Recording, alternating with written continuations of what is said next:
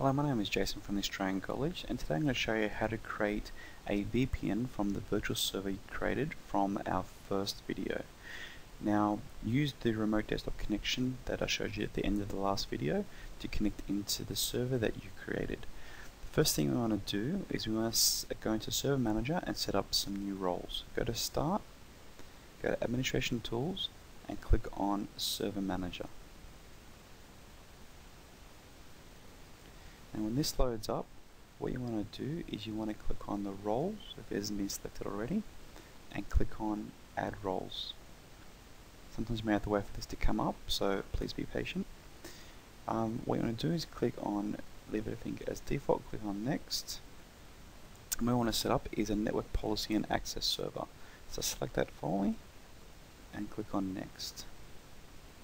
And click on Next again and what we want to do, we want to enable a network policy server, routing our remote access services, which will automatically highlight the remote access services and routing. And then click on next, and then install. Now depending on the, the instance, this could take approximately 5, could be 10, possibly even 15 minutes. So please be patient, wait for it to install. I'm going to pause the video now and I'll enable it once we have this installed. Okay, once finished, your screen should look like this and should have the installation succeeded. Ignore the error, that's just the generic error you have with the Windows updating. So just click on close. And then extend the roles and again network policy and access and routing and remote access. So you should see here now you have this new feature which is routing and remote access, but we want to have this enabled. So right click on that and configure and enable routing and remote access. Click on next. Now what, even though we want to set up a VPN, we want to select the custom configuration. So click on that and click next. And here we select the VPN. And click next there and finish. Yeah, and just click, if that screen pops up, just click OK. And click on Start Service to start your VPN and routing and remote access service.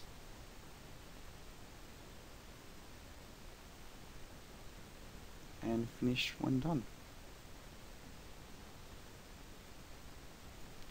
And you can see here, um, it's gone from a red circle to a green up arrow. That means that this is now active and online.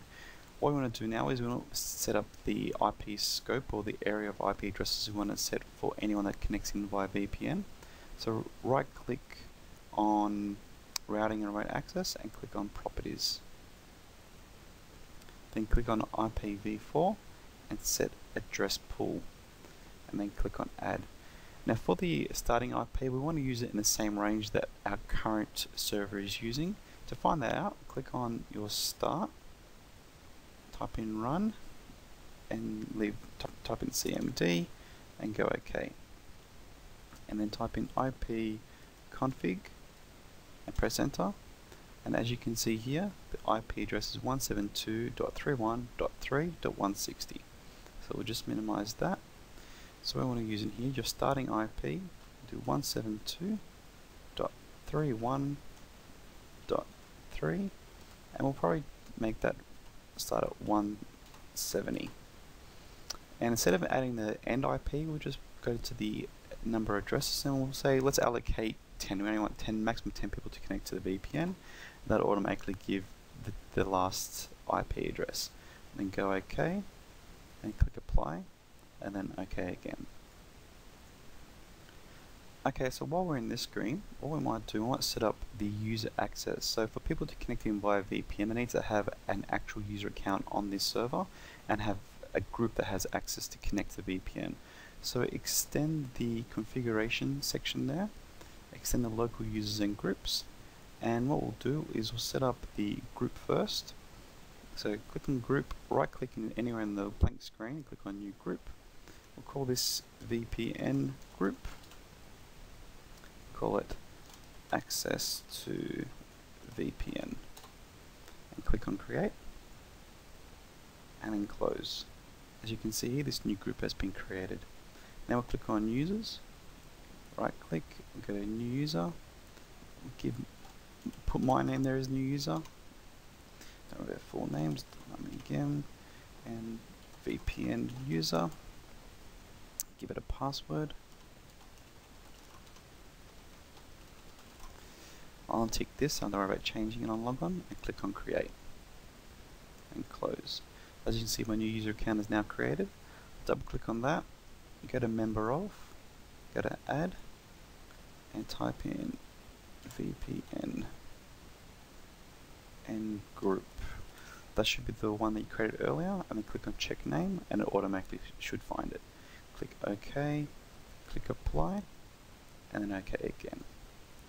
So as you can see, my name's there. I'm a VPN user. I go back to the groups, double click on VPN groups, and you can see I'm a member of that as well. And click OK. Okay, our next step, let's just minimize this and then click on Start, Administration Tools, and now we need to set some network policies. So click on Network Policy Server.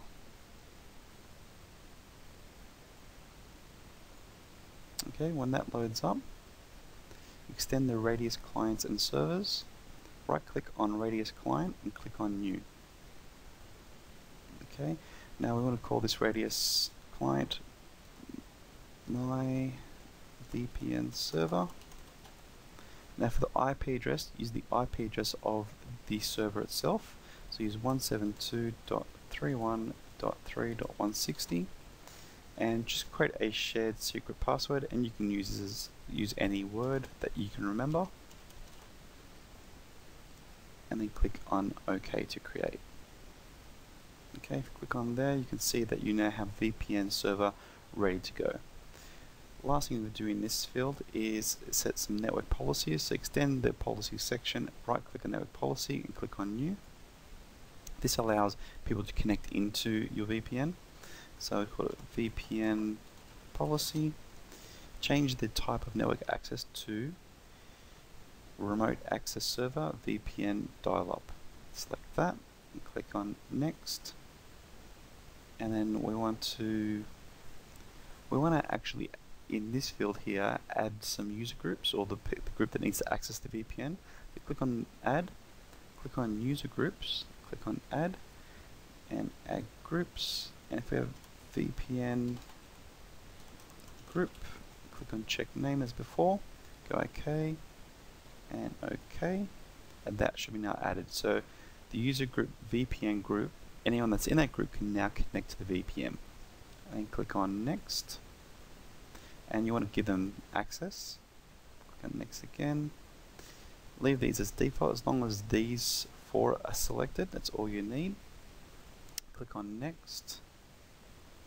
Now in this uh, screen here, click on NAS port type and select VPN because we want them to connect in via VPN. If you scroll down here, the VPN option here should automatically be selected for virtual.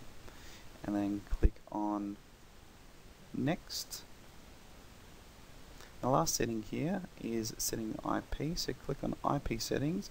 Let's make sure the server setting is determined determine the IP address assignment. Therefore, whenever someone connects in using their VPN, the server will automatically um, allocate the IP address to the client. And then click on next and finish. Alright, and that's pretty much it. That's how you set up the VPN server. So let's do a bit of testing now to see that it's all working as intended. So just minimize these screens. Now if we go to what we want to do on your local machine, it's not on the server, local machine, you want to set up a VPN connection. So I'll show you what it looks like on here. If you go to start and type in VPN, that's what you want to load on your local computer. So I'll drag mine across now. So that's my local machine. Now the IP address or the internet address needs to be the external public IP. So this one up here, the 54.252.221.17.09 is what you should be using because you're connecting from the public or externally. But this one won't work because that's an internal IP to that server. So we'll type in that and that could be virtual server VPN then click on next type in your username that you created on the server and I'm going to test it by putting an incorrect password in. And click on connect. Okay it's come up right away saying it's incorrect password or incorrect username. Type it again. So let's put the right password in. Go OK. And there you see it says you are connected. So my computer now is connected to the VPN of the virtual server. Now let me show you something if I go to this screen here type in IP config again you'll see if I scroll up that this has two IP addresses. So it has the existing one which is 160 but a new one which is what my computer at my local computer is connecting to which is the 170 address. It's created a virtual connection. Now if I go to my command prompt, so this is my command prompt on my computer, I type in ipconfig okay and I'll scroll up. As you can see I've got a 172.301.3.172 address that's been assigned by the virtual server. And if I go in, I can should be able to ping 172.31.3.160.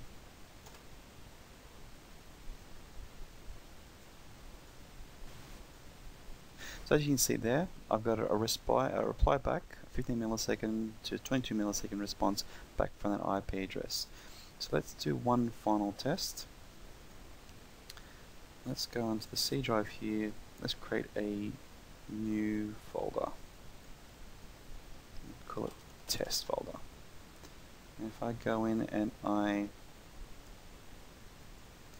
share this folder,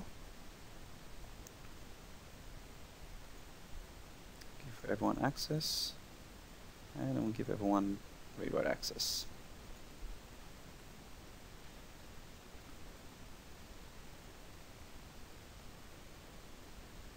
Okay, so this folder is now shared.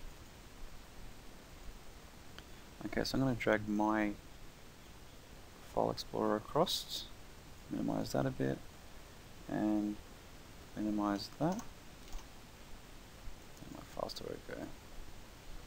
Okay, if I go to the IP,